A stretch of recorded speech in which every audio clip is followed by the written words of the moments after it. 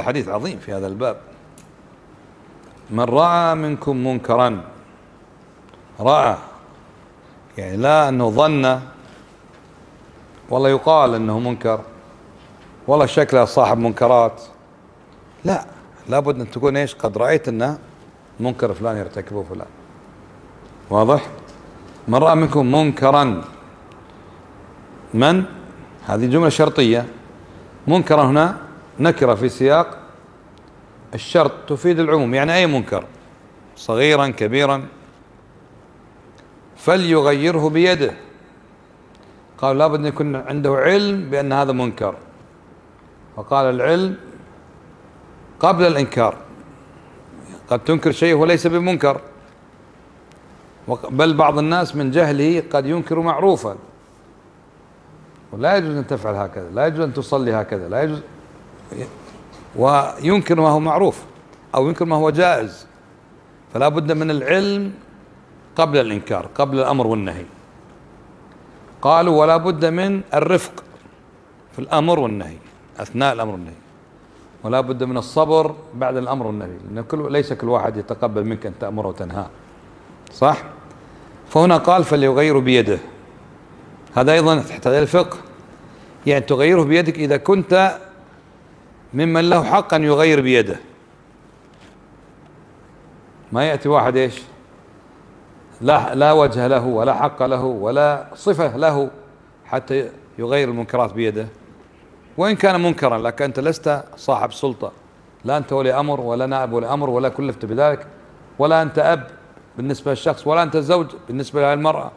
ما تغير بيدك وأنت لست أهلا لذلك. أو لا يحق لك ذلك. فإن لم يستطع فبلسانه. فإن لم يستطع فبلسانه. يعني ينكر ويتكلم وليس المراد هنا بلسانه أنه يشتم وأنه يزجر وإنما ممكن هذا الإنكار يكون بالرفق. ممكن يقول الله يرضى عليك المفروض ما تفعل كذا أو هذا عيب أو هذا حرام أو ما في أحد يرضى أن يفعل بأهل هذا الفعل. فكيف تفعل؟ ليس بالضرورة بلسانه يعني أنه يتسلط باللسان ويشتم ولا آخره. طيب وإنما بحسبه يحتاج إلى فقه. فإن لم يستطع فبقلبه يعني يكره هذا المنكر ولا يرضى به. وهنا كثير من الناس لماذا فلان لا ينكر؟ لماذا العالم الفلاني المنكرات موجودة في البلد الفلاني؟ أين العالم الفلاني؟ طيب أولا وما يدرك بأن العالم قد أنكر ولا ما أنكر. ليس بالضرورة أنه إذا أنكر ونصح أن إيش؟ يخبرك ترى أني أنا نصحت وأني أنكرت. هل هذا من الضرورة؟ ليس بالضرورة؟ لا. كما قال بعض مشايخنا. قال أو كلما ناصحت ولي الأمر آتي أخبرك بأني ناصحت. انتبهتوا؟ ما يلزم أن أخبرك. ثم لو أن إنسان كان عاجزا عن أن ينصح. فكره هذا بقلبه. رخص له الشرع أو لو يرخص له؟ رخص له. أن تحاسب على شيء؟ الشرع رخص له ولا يحاسب عليه؟ ليس من حقك. كثير من المنكرات في كثير من الناس ما يستطيع عليه ماذا يفعل؟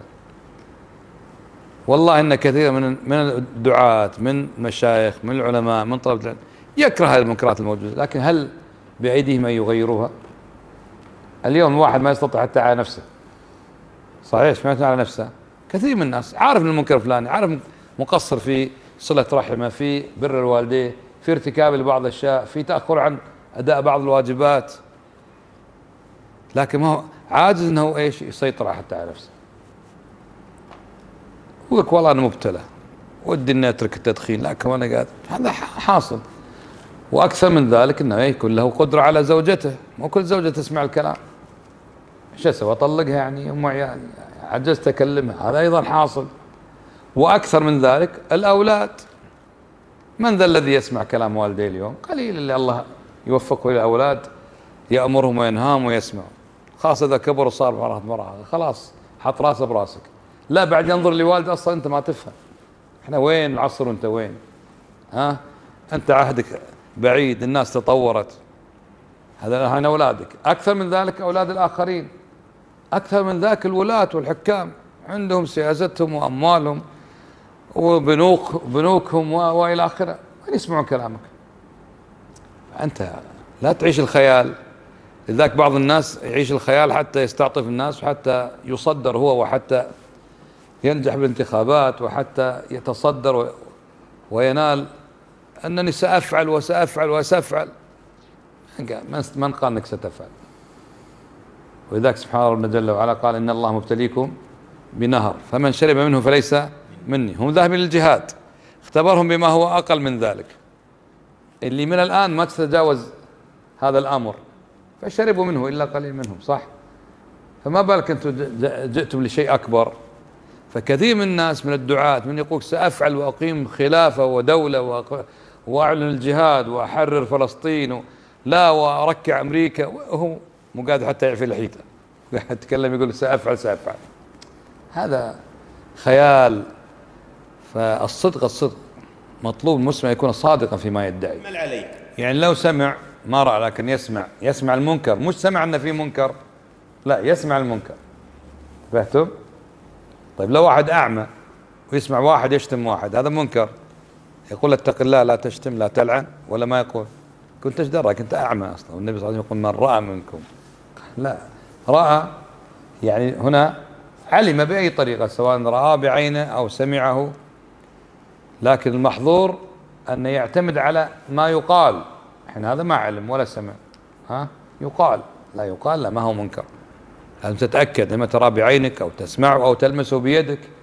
أو ممكن تشمه بعد. شما ولا لا؟ ممكن أو ليس بممكن.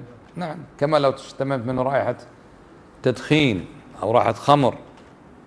فأنت تعتبر هنا رأيت منكرا. نعم. هذا سابقا كانت أدوات الله هذه هدر. شوفوا عنده له تكسرها. وين يروح يشتكي عند القاضي؟ يحكم عليه. عندك هذا حرام. لكن اليوم أصبحت آلات الله وهذا إيش محترم ولو تكسرها يرفع لك قضية اسمها إتلاف مال مال مال الغير. يرفع لك قضية ويغرمك بعد. إنك تعبت نفسيا كسرت آلته. وضيعت له الحفلة. وضيعت له موعد ناس. إذا كل شيء بحسبه.